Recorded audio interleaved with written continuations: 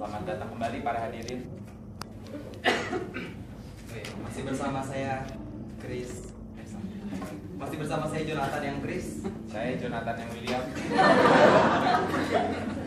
Langsung aja ya, pelan. Oh penampilan selanjutnya eh, ada Felicia Crincy yang akan membawakan lagu violin concerto in D minor karya Max dan dilanjutkan oleh Brandon Martin yang, yang membawakan piano concerto in A minor ka- karya